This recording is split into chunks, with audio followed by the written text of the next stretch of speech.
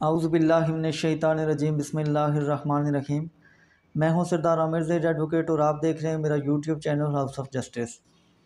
Viewers, आज हम बात करेंगे कि ऐसे कौन कौन से डॉक्यूमेंट्स हैं कि जिनको जब तैयार किया जाता है तो उस वक्त दो गवाहों का मौजूद होना ज़रूरी है। आया वो दो गवाह जो हैं, क्या वो दो औरतें हो सकती हैं, या कि वो दोनों मर्द होने चाहिए? तो इस पर आगे बात करने से पहले एक रिक्वेस्ट कि जिन भाइयों ने मेरे चैनल को सब्सक्राइब नहीं किया तो काइंडली मेरे चैनल को सब्सक्राइब कर लें और साथ में जो बेल आइकन है, उसको भी प्रेस कर लें ताकि मेरी जो आने वाली वीडियोज़ हैं, उनके नोटिफिकेशन बर वक्त आप तक पहुँच सकें। तो कानून शहादत आर्डीनेंस 1984 का आर्टिकल 17 टू ए अगर हम देखें आर्टिकल 17 टू ए इसको अगर हम देखें तो हमें बताया जा रहा है यहाँ पर कि जो भी फाइनेंशियल या फ्यूचर ओब्लिगेशन होंगी तो उसके लिए दो मर्द, जो दो गवाह होंगे, वो दो मर्द हों। या अगर दो मर्द नहीं हैं तो फिर एक मर्द और दो औरतें मौजूद होना ज़रूरी है। मैं फिर बता देता हूँ कि कोई भी डॉक्यूमेंट जो फाइनेंशली जिसका मतलब फाइनेंशली मतलब कि जो फाइनेंस से, माली मामला से जिसका तल्लक है तो ऐसा कोई भी डॉक्यूमेंट आप तैयार कर रहे हैं जिसका तल्लक माली मामला से है, या कि फ्यूचर ओब्लिगेशन के लिए है, उसकी जो भी, उस डॉक्यूमेंट की आप वो तैयारी कर रहे हैं तो वो फ्यूचर एब्लिगेशन के लिए है। तो उसके लिए आपके पास दो मर्द गवाह होने चाहिए, या फिर अगर दो मर्द अवेलेबल नहीं हैं तो एक मर्द और दो औरतें होना ज़रूरी है। आप इसमें चारों औरतें नहीं रख सकते या तीन औरतें नहीं रख सकते। आपने दो मर्द या फिर वो अवेलेबल नहीं हैं तो फिर एक मर्द का होना ज़रूरी है और साथ दो औरतें हो सकती हैं, क्योंकि दो औरतें मिलके एक मर्द के बराबर वो गवाह हो जाएँगी। तो ये आर्टिकल सेवनटीन टू ए है कानून शहादत आर्टीनेंस 1984 का, जो हमें बताता है कि दो गवाह होना ज़रूरी हैं। और वो कौन से डॉक्यूमेंट्स के लिए है कि या तो फाइनेंस के मैटर्स हों या फिर फ्यूचर ओब्लिगेशन के लिए हो। फाइनेंस का मैं आपको इसके बारे में थोड़ा सा बताना चाहता हूँ कि फ़ाइनेंस का किस तरह हो सकता है कि लेट्स सपोज़ के एक आपने किसी से मकान ख़रीद लिया या दुकान खरीदी, ख़रीदी, प्लाट ख़रीदा, उसकी आपने पेमेंट करनी है। चाहे उसका बयाना दे रहे हैं या उसकी फुल पेमेंट कर रहे हैं। अक्सर इस तरह होता है कि जब भी कोई प्रॉपर्टी ख़रीदी जाती है तो पहले बयाना दिया जाता है। आपने उसका फ़र्द वगैरह लिए, लेते हैं, फ़र्द बै वगैरह लेते हैं ताकि रजिस्ट्री के लिए डॉक्यूमेंट्स तैयार करवाएँ और साथ में कुछ टाइम लेते हैं कि मैं इतने टाइम में बकिया पेमेंट करूँगा। बयाना फ़ौर दे दिया जाता है उस बयाना को जब आप पे करते हैं फ़र्ज़ किया बयाना की रकम अगर आप एक लाख पे कर रहे हैं तो उसके लिए भी एग, आप एग्रीमेंट टू सेल बनाते हैं। एग्रीमेंट टू सेल किस तरह बनाते हैं कि आप लिखते हैं कि फ़लाँ प्रॉपर्टी है मैंने फ़लाँ आदमी से ख़रीदी है। ख़रीदने जो जिससे आप ख़रीद रहे हैं उसकी भी डिटेल लिखी जाती है अपनी भी आप लिखते हैं।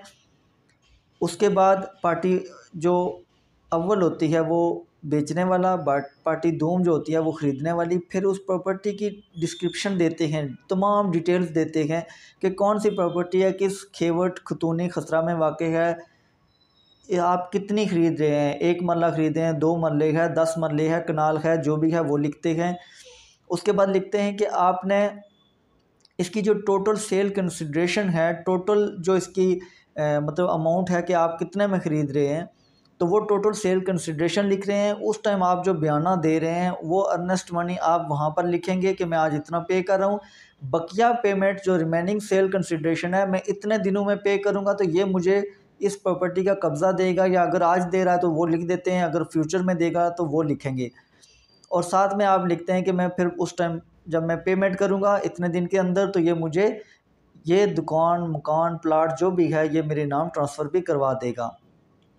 अब जब आप बयाना दे रहे हैं तो ये फाइनेंस मैटर है।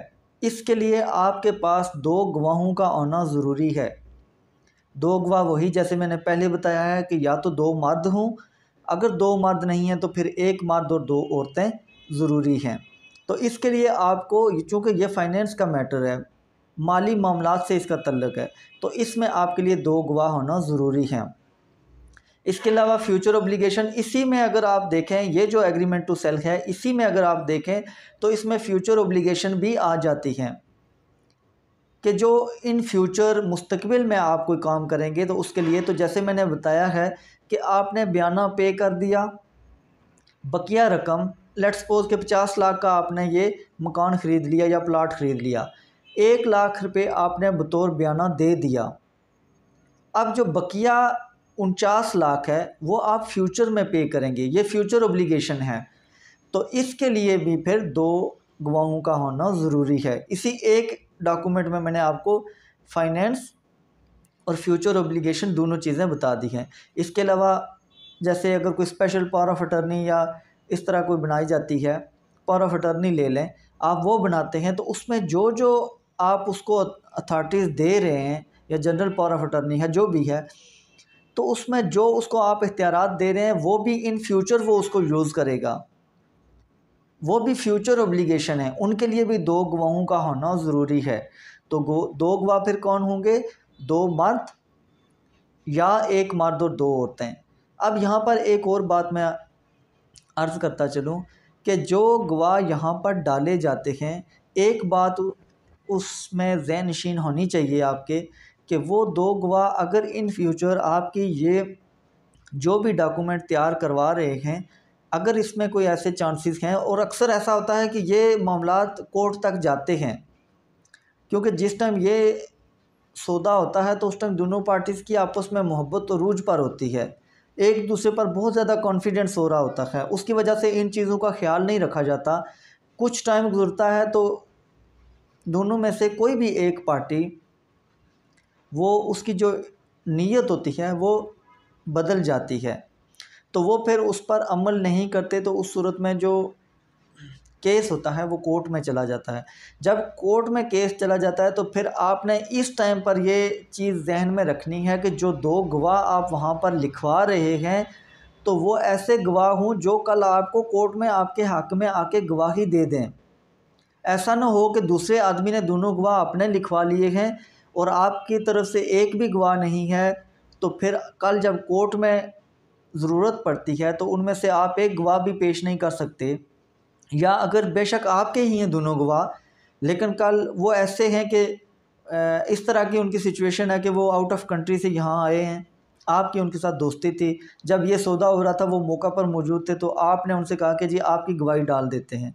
वो दोनों राज़ी हो गए, वो तो देख रहे थे तो वो राज़ी हो गए, उन्होंने अपना आईडी कार्ड दिया, आपने उनकी डिटेल्स दी, साइन वगैरह उनसे ले लिए। कल जब वो वापस चले गए, आप लोगों का आपस में डिस्प्यूट पैदा हो गया, एक पार्टी कोर्ट में चली गई। अब जब वो गवाह बाहर चले गए हैं तो फिर आप उन, आपके लिए मुश्किल है कि आप उनको कैसे पेश करेंगे अदालत में? अगर आप उसको अदालत में उन दो गवाहों को, जिनकी गवाही वहाँ पर उस एग्रीमेंट में या उस डॉक्यूमेंट पर मौजूद है, लिखी हुई है तो अगर उनको आप कोर्ट में पेश नहीं कर, करेंगे तो इसका मतलब है वो डॉक्यूमेंट कोर्ट एक्सेप्ट नहीं करेगी। इसके लिए अगर आप कानून शहादत आर्डीनेंस 1984 का आर्टिकल 79 देखें तो उसमें क्लियरली लिखा हुआ है कि जो भी गवाह उस टाइम मौजूद होंगे और जिनकी गवाही इस डॉक्यूमेंट में मौजूद है। तो जब तक उनको कोर्ट में पेश नहीं किया जाएगा उनको उस डॉक्यूमेंट को माना नहीं जाएगा। ऐसा ना हो कि लाखों करोड़ों रुपए जो हैं वो आप पे कर चुके हैं।